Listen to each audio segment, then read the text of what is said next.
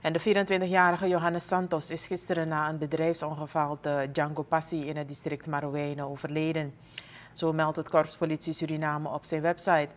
Onderzoek wees uit dat de drie arbeiders werkzaam bij een houthandel met een skidder over de Django Passi reden. Het was donker en Johannes zat op het dak van de skidder met een koplamp. Op een bepaald moment schudde de skidder waardoor Johannes van het dak viel.